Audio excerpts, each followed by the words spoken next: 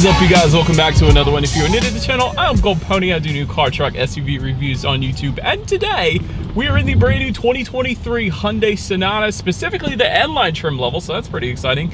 Courtesy of jack Giambalvo hyundai in york pa for more information on their inventory please feel free to check out the link in the description box below. And so we are in this one today because there's actually some nice upgrades for the 2023 sonata. And of course i'll be going over all of the trim levels not just specifically the n line that we are in today. So also like this one because I do own a newer generation Sonata. I own a 2020, so I'll be able to give you guys some insights on how that's held up. Also, you get America's best warranty being five years, 60,000 mile bumper to bumper, 10 years, 100,000 miles on the powertrain. So there's some peace of mind there. And you get three years or 36,000 miles of complimentary maintenance then as well, which is gonna save you some money. So ultimately in this video, we will be testing out and going over everything about this one from acceleration to braking, steering feel, ride quality, sound system, exhaust clip, all that fun stuff. So having said all of that, what do you guys say? Let's just go ahead and jump right into it. And as always, let's start with pricing. And so as you can imagine, there are several trim levels for the 2023 Sonata. First one being the SE starting at $24,950,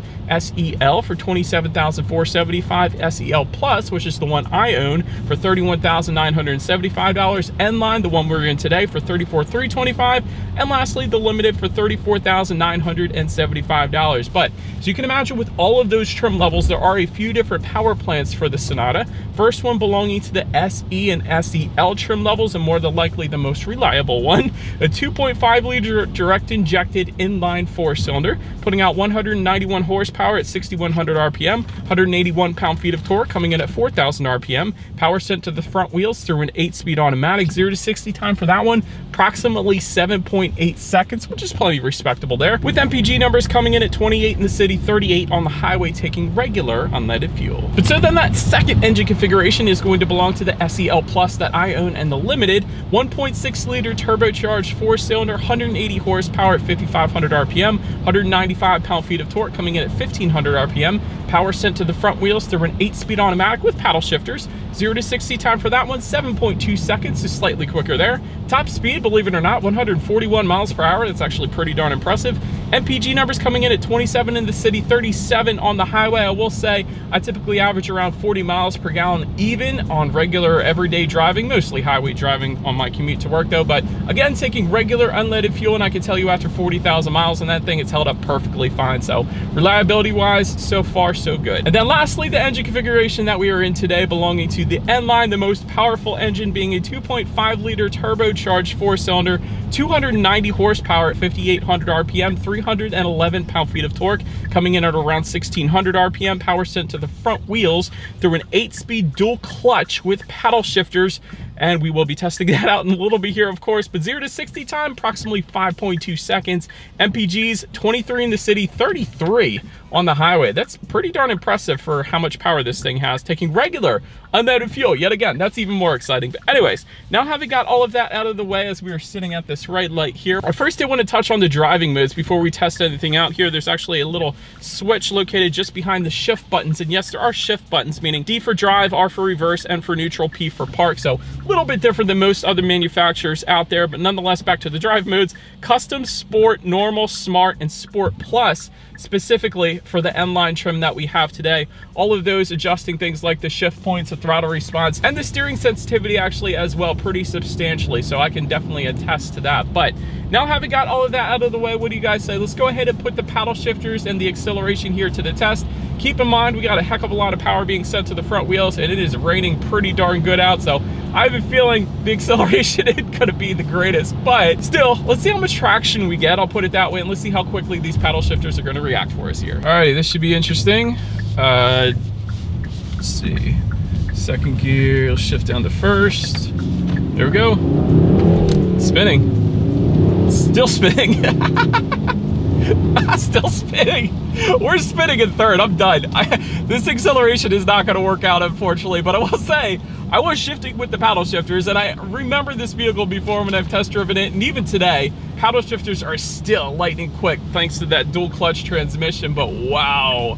Wow, was I spinning. I was like spinning in first, spinning in second, spinning in third. So much power being sent to the front wheels. I will say, Hyundai, if you're watching this, maybe give uh, the N-Line an all-wheel drive option or make it standard with all-wheel drive, something like that. There's just so much power being sent to the front wheels. And in a dry climate, I know it is wonderful, but in a wet climate, Ah, you're just spinning. Anyways, to go along with that acceleration, as always, braking is equally important. So up front, you will find 12-inch ventilated front discs for all trim levels but the N-Line because the N-Line is going to bump that up to 13.6 inches up front. In the back, 11.2-inch solid rear discs, again, bumped up for the N-Line, coming in at 12.8 inches. As far as that 6E0 stopping distance goes, it's actually pretty impressive either way. 121 feet for the non-N-Line trim level and then 110 feet for the N-Line trim level. So going down this hill here, it's still actually really, really good, even in the wet right here. So plenty of braking power on the N-Line without a doubt. Definitely happy there. But so then touching on suspension and handling. Up front, you're gonna get a MacPherson strut front suspension. In the back, independent multi-link rear suspension,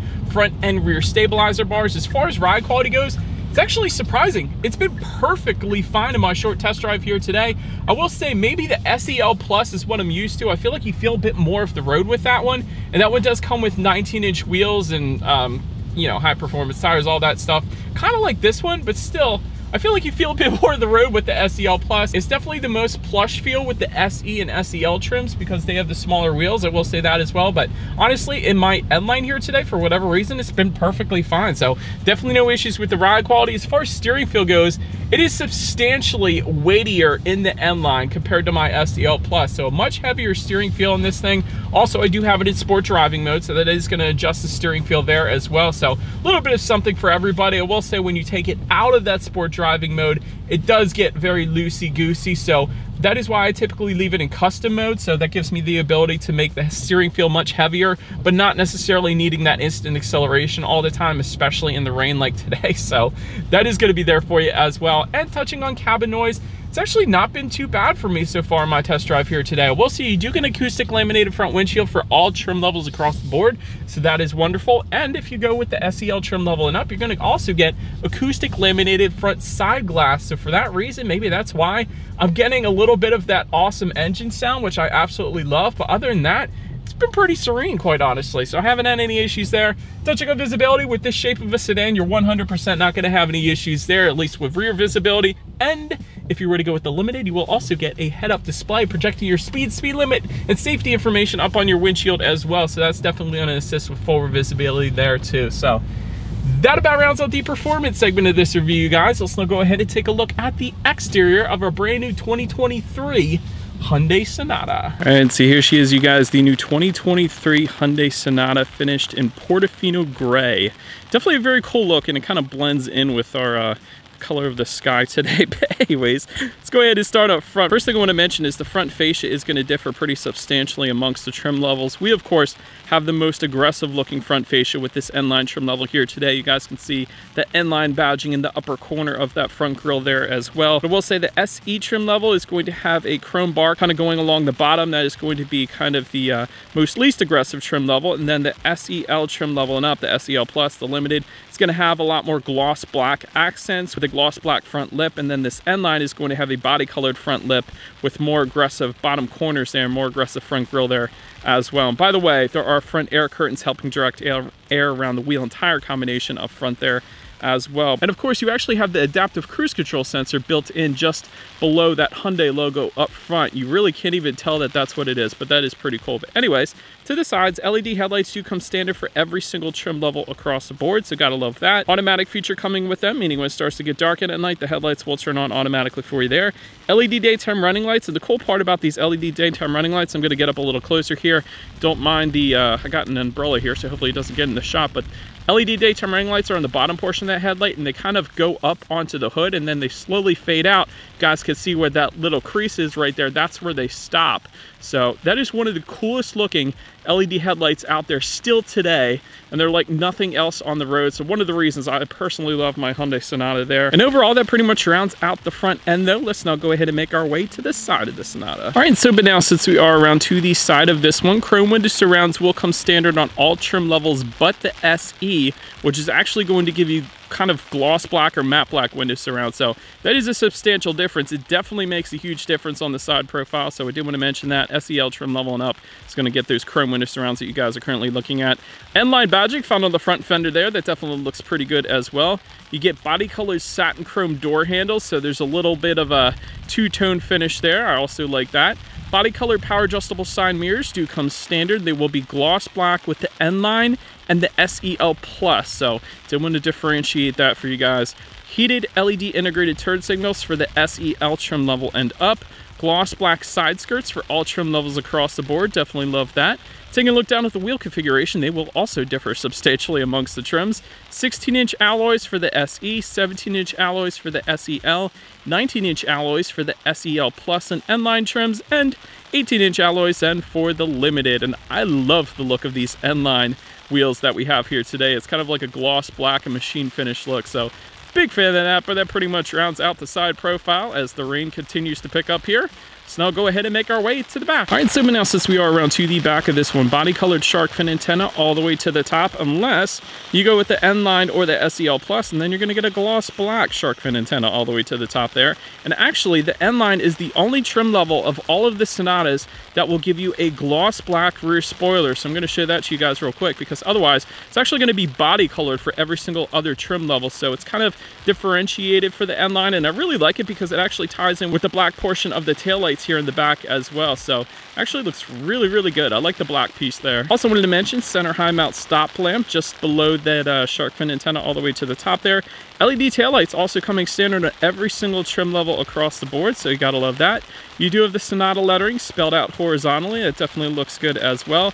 All the way to the bottom though, you will get a gloss black rear diffuser if you were to go with the N-line trim that we have today. So I'm a big fan of that. That definitely looks very good. Unique N-line rear bumper for the N-line trim level, of course. And to the sides, the exhaust outlets are going to differ actually amongst the trim levels pretty substantially. So with the SE trim, the exhaust is going to be a single exhaust and it will be hidden. But if you were to go with the SEL trim level and up, you're going to get a single exhaust with dual satin chrome tips. And then if you were to go with the N-line, as the rain continues to pick up, you will get dual exhaust outlets with quad tips finished in satin chrome yet again. So having said that, I do believe you guys know what we have to do next is always here is that exhaust clip.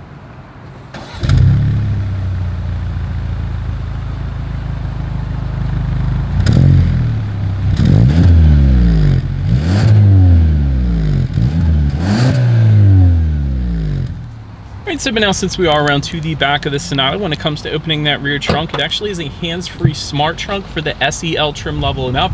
I love this feature because my hands are constantly full with camera equipment and tripods and sliders and all that fun stuff. So when I walk up to the back, assuming the vehicle is locked, it will beep three times. It'll kind of chirp three times and then the trunk is automatically gonna completely open up for you. So all you need to do is get behind it with the key. It's gonna detect that key and automatically open up for you. It's one of the best features about the Sonata that I absolutely love. And there's also a hidden way to open the trunk within the upper portion of the Hyundai logo as well if you wanted to go 007's James Bond style. So big fan of that as well. But anyways, once opened up, cargo capacity comes in at an even 16 cubic feet. If that was not enough space, there is a 60-40 split, meaning the rear seats do fold down for quite a bit of extra space then if you needed it. You do have some cargo lighting back there as well. There is an optional cargo net. We do have that with us here today, so I wanted to emphasize that. And if you were curious whether or not you got any in-floor storage or spare tire, if you lift up underneath of that cargo floor, you do have a spare tire, which I actually have already used.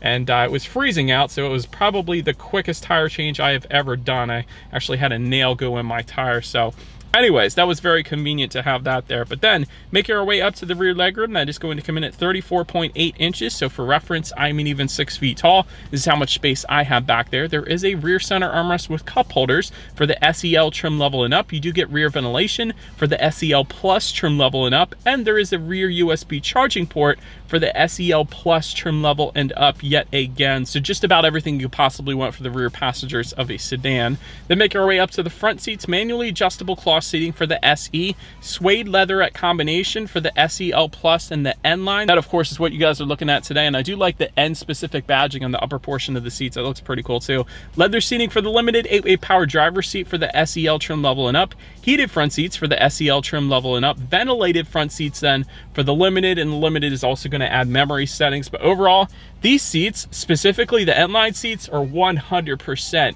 on point. They definitely hug you. They hold you in place. So Big fan of the N-Line seats, and it is a substantial difference between the N-Line seats and all the other trim levels of the Sonata, I will say that. But then, take a look at the steering wheel. It is tilt and telescoping. It is leather wrapped for the SEL Plus trim level and up, and that leather wrapped steering wheel is going to be optional on the SEL. And then a heated steering wheel is going to come on the limited trim level if you wanted that. But now, let's go ahead and make our way to the startup. Let me start by showing you guys the key here. You do have your Hyundai logo on the one side.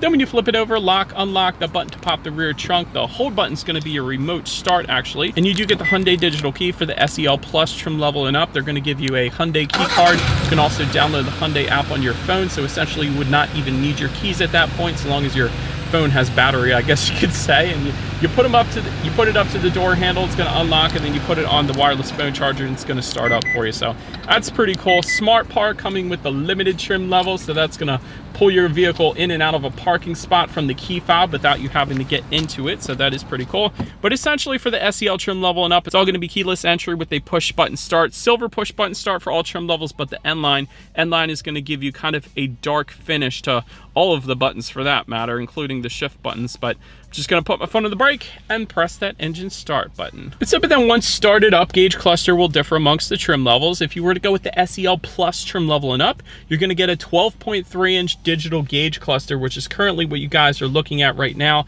All the other trim levels below that, the SE and the SEL, are going to give you analog gauges. So you can imagine what that is going to look like, but I do love the digital gauge cluster. Have that in my SEL Plus. Essentially, when you change the drive modes, like from sport to normal, it's gonna substantially change the look of those these gauges. So I am a huge fan of that. And of course you have steering wheel mounted controls on the right side of the steering wheel, allowing you to adjust different things like boost pressure, apparently on the N-Line trim level. I don't have that on my SEL Plus. There's also safety information up there. You can display a picture of the Sonata itself. That is pretty cool.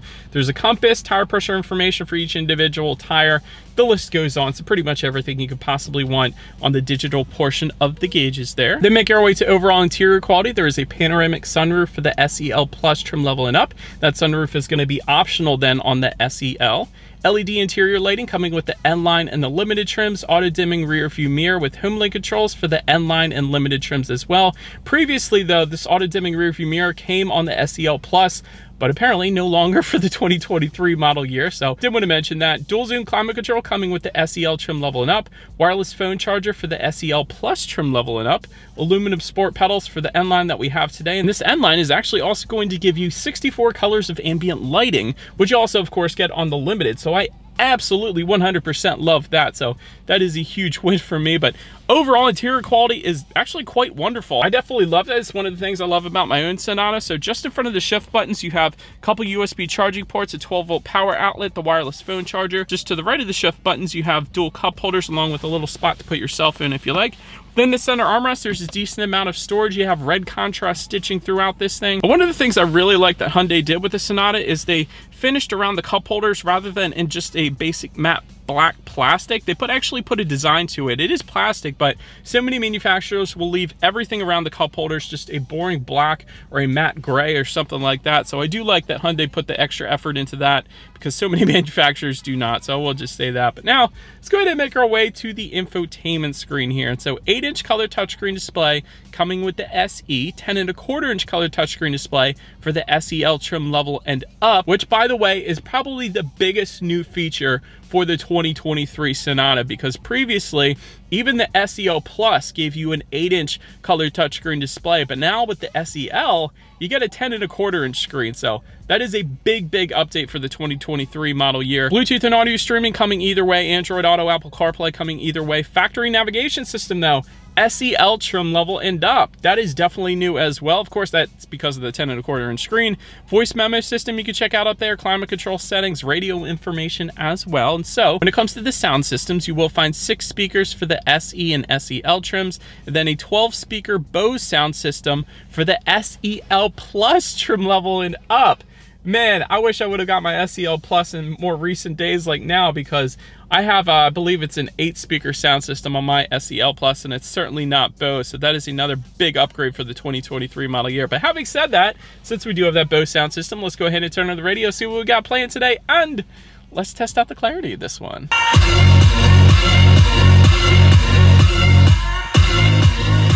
Yeah, that sound system crushes it. Ton, ton of bass, substantially better than my eight speaker sound system. So Wow, thank you Hyundai for putting that amazing Bose sound system in the SEL Plus trim levels and up now because I don't have it in my SEL Plus. That was an amazing sound system and I have had Bose sound systems in my vehicles before. They've never broken or failed on me, so Bose is a very reputable company, so Big fan of that. But last thing I want to mention to you guys on the infotainment screen is when you do put the Sonata in reverse, you will find a rear view camera coming standard for all trim levels across the board, but you will also get a surround view monitor with the limited trim levels specifically letting you know what is completely all around you, which is always is going to lead us into safety. And so to start, IIHS top safety pick. So that pretty much has it all right there. That's very good. Front side side curtain airbags do come standard. Driver's knee airbag up front as well.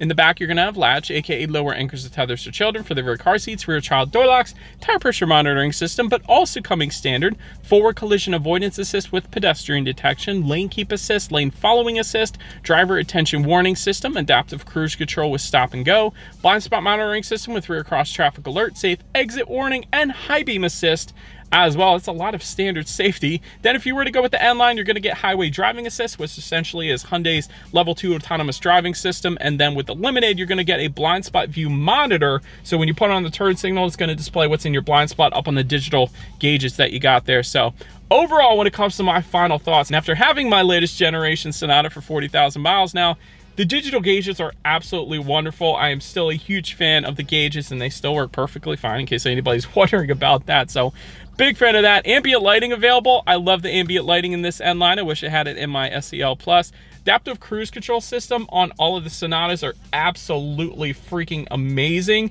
I put it on quite frequently since I do a lot of highway driving and it keeps you centered in the lane. It will slow down when the vehicle in front of you slows down completely to a stop and then may maybe when there's a green light, it automatically hits the gas for you and it continues to follow that vehicle in front of you. So that is pretty darn cool. Impressive MPGs on my SEL Plus. Like I mentioned, I average around 40 miles per gallon. I do a lot of highway driving there. And so as far as room for improvement, the really only thing I could think of is give an all-wheel drive option. You know, the Nissan Altima has an all-wheel drive option. The Toyota Camry has an all-wheel drive option. So I think all-wheel drive would do pretty darn good in the Sonata, especially for the N-Line. The power is essentially useless when it rains. I will say that because you're just spinning. There's so much power to the front wheels. But anyways, let me know what you guys think of the Sonata in the comment section below that is about it for this one, you guys. Thank you so much for watching. Feel free to follow me on social media at the bottom of the screen if you want to see what's coming next on the channel before it gets to YouTube. Be sure to hit subscribe and the bell notification button if you're into new car reviews. That is what we do here on this channel after all. Do appreciate you guys watching more than you know.